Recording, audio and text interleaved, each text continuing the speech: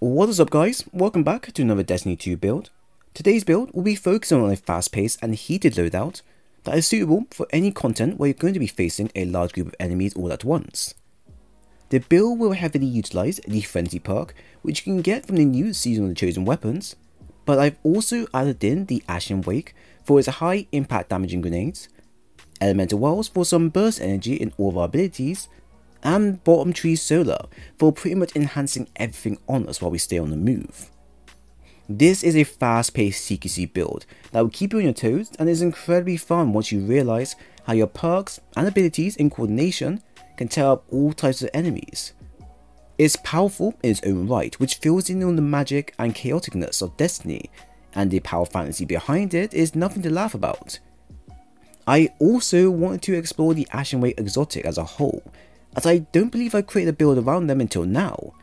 And from past and current experimentation with the exotic, I felt that they were lacking a synchronization with the current gear we had.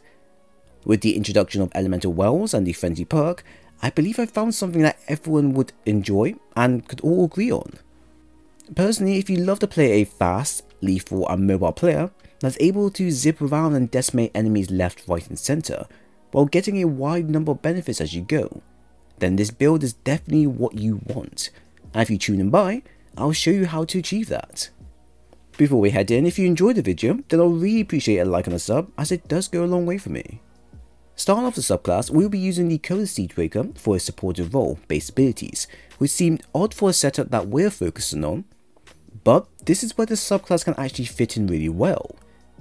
Code of Siegebreaker focuses on utilizing your sunspots to increase damage, ability regen and super duration, and when combined with exotics such as Hallowfire Heart, we can increase our ability regen even more and pretty much always be full on energy. With that in mind and how you utilize the subclass buff, you'll probably want to focus on a long to mid-range setup that makes full use of sunspot's duration for your own benefits. However, this is not what we're going to be doing, as we want to stay on the move but also benefit from the sunspots when made available. This is where the Ashen Wake exotic will come into play, as it could turn our solar sticking grenades into impact grenades, and the difference plus benefits from it is large and amazing once used. With the effect of the exotic, every time we get a kill with a grenade, it will produce a sunspot for us to pass through, but also providing ability energy as well. At the same time, our exotic can provide grenade energy back from kills, which will vary at times on the amounts, and on top of that, we also have the Elemental Ordnance mod and Elemental Well effects, that can also kick in and give us a big 30 second boost to our abilities. In simple terms, we have created a mini Hallowfire Heart without the downside of needing to save our super for the benefits, and this is great as the effects are instant. Of course, Code of Devastator is another option to pick for its Roaring Flames perk and the Throwing Hammer perk. Using the Ashen Wake exotic with that subclass can allow you to hit a lot more harder in both melee and grenades, and will be a great choice for this setup in mind. However, the micromanagement involved with keeping these stacks up and going can be tiresome for what is currently being requested. I plan on using my weapons a lot for this setup to show you how well coordinated everything is, while the other option would focus mainly on ability only usage. It has its place, but I don't believe it will work with what I'm trying to achieve this time round. For weapons, we are aiming for a CQC build that will incorporate the craziness of large enemy engagements and allow us to keep us on our toes with everything in place. It's recommended we use a SMG with fast reload speed to benefit the movement of the build. Bonus points if you use a solar SMG for the elemental effects of elemental wells. My primary is the Extraordinary Rendition SMG with Overflow and Frenzy, and this is not only the best SMG to own, but also the best roll to look for when grinding for one. This at first doesn't look all that great stat wise, with its lack of stability being a major problem for us console users. But once you get a good stability perk on the weapon, that's when the weapon becomes a bit more accurate and usable for all.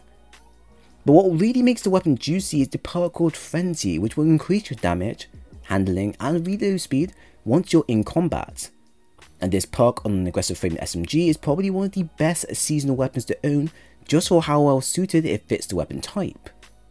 Once Frenzy kicks in, the SMG becomes something else, but once you add in Overflow to the weapon as well, then you're really going to have some fun with it. I've been using this SMG a lot and it's definitely worth investing in for the sheer power it comes with.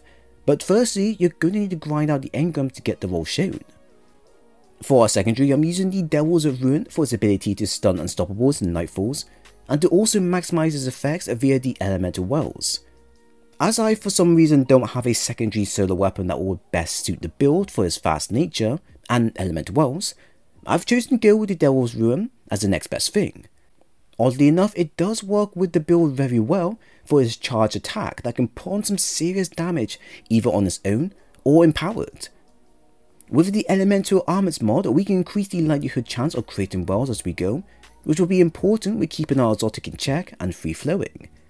If you have the Tarrabah SMG, you could use that instead for exotic trait, which is similar to Frenzy but only for a limited duration. What would make Tarrabah better though, is if its damage was a little bit more longer, and perhaps maybe on the same level as Frenzy in terms of duration, but that might be a bit too overpowered, especially how powerful the SMG really is once you get the exotic trait going.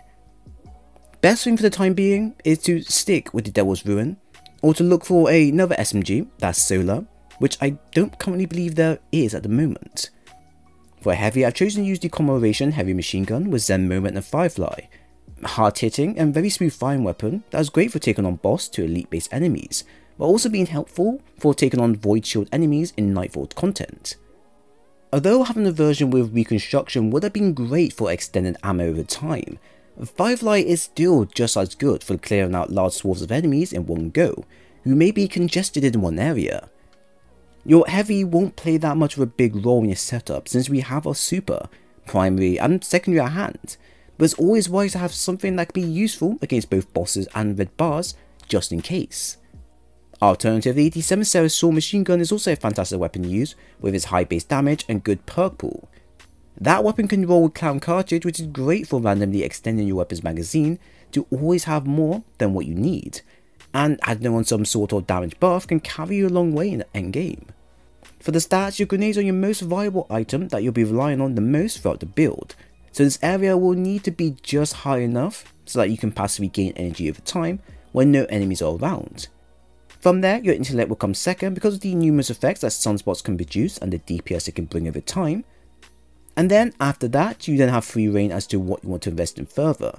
But melee will most likely be your third investment because of the CQC element of the build. At 70 to 80, you're getting a 45 to 41 second cooldown for your discipline, which is enough to passively gain back grenade energy when you're not engaging in any sort of combat. Now as the build focuses on the ability regen you gain from your subclass and elemental wells as you play, this will sound very excessive to have, which you are correct on. We want to make sure is that we have plenty of grenades freely available so we can keep its effects going and at the same time use our sunspots to keep our movement on the go. The one issue you're going to come across is how your now impact grenades won't do enough damage on most ultras or major enemies unless they are already weakened, which can put you in a disadvantage of having no grenades freely available. If no sunspots or elemental wells is around to passively regain your grenades, then we need another source to help us with this, and that's where the stat will come into play. Sometimes you'll get into a situation where you want to do damage to an enemy, but also back off and regain your ground again, and using your grenades are a great way of doing so. Having this stat as high as possible will allow you to at least circumvent the disadvantages our grenades have while still feeling worthwhile. Our intellect stat can be left at the 50 sections now, as if you're using the Font of Wisdom mod that provides a plus 50 to your base intellect stat, then that should be fine enough for you. If you don't plan on using the mod, then investing in 60 to 70 would be suitable as well, as we can utilize the orbs of powers that are dropped by us or our allies and quickly build up our super that way. Honestly, I would invest in the mod as its activation is very simple to achieve its effects are very obvious to notice, and you'll be producing wells on very long basis, so it's not like you're not making full use of it while you play.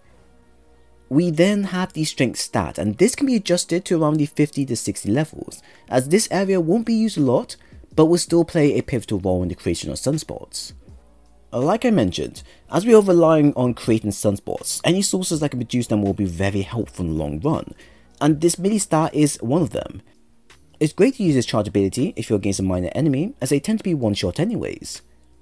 Against majors, they can be 50-50 depending on their health, which can be both useful if they are surrounded by minor enemies, as the sunspots created can damage or even outright kill those around it.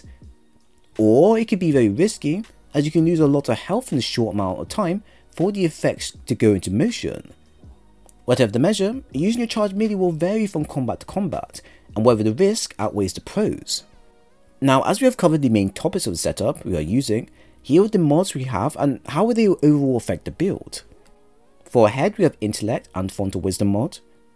Arm we have Resilience, Impact Induction, Overload SMG and Elemental Armaments mod. Chest we have Discipline, Concussive Dampener times 2, and Font of Might mod. Leg we have Maya Discipline, Absolution, Insulation, and Elemental Ordnance mod. Mark we have Discipline, Distribution, and Focusing Lens mod. This is a build that I've been planning to do for a very long time, but felt that the original version I had wasn't good enough to show off for its worth. Before we had the new mods and perks introduced, the build was originally going to be focusing on just the military solar, with throw and hammer, and making full use of the damage buff you get for a continuous boost in damage that would be considered borderline OP. It was nice and simple, but its usage in certain activities were limited and the cons to setup was very high if you missed either your grenades or melee, as you had to then either build it back up with specific perks or you needed to wait and regain it over time. Once Frenzy and Elemental Wells were introduced, it allowed me to expand on the build and actually make it viable for all content, except for Grandmaster Nightfalls and to a degree PvP. With the setup, we won't be getting crazy numbers for our grenades damage over time, but the build will get continuous damage over time as long as enemies are around, and this is great for keeping you on your toes and decimating all types of enemies that are around us. The fun with the build is once you activate the Frenzy perk on your SMG, which will now hit a lot more harder than before, and will reload really quickly, allowing you to switch between targets in quick succession. Once our Frenzy is in action, we can then use our grenades and melee to activate our sunspots for a further boost in damage in all areas, but also receive a buff to our passive ability regen over time. This is important as this will allow us to keep making sunspots on the fly via abilities or even weapons, and the more we have, the more stronger we become. While this is all happening, we are also gaining elemental wells to drop that will give us around a 20% ability energy back, and then a further 30 second ability regen that can be refreshed as long as you keep creating more. This can create a chain reaction of ability spam on the go, without the use or even need of specific perks such as Demolitionist or Wellspring. In fact, with the way the build works, you won't ever need to use this perk as the build is naturally giving you a faster cooldown compared to using any sort of perks that focus in these specific areas. This is what peak performance for a build that focuses on ability and weapon usage should look like.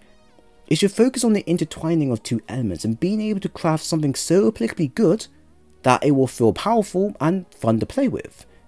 Like most of my builds, this build can be put together by anyone, and the only thing that may be an issue to some people is getting the Elemental Wells mod.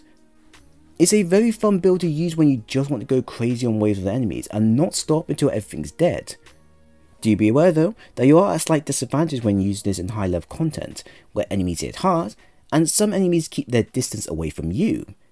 If you have a machine gun or something long range like shown, then you should be fine to proceed. But if you don't, then it's best to switch up your gear a bit to have something as backup.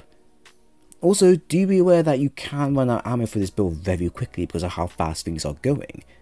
This of course is expected when using SMGs, but when using this build it becomes a lot more apparent than normal. So if you enjoyed the video, then please leave a like and a sub and also follow me on Twitter to keep up to date with Destiny and Titanfall content if you dig that type of stuff, link is down below. But once again, thanks for stopping by, I'll see you on the next one.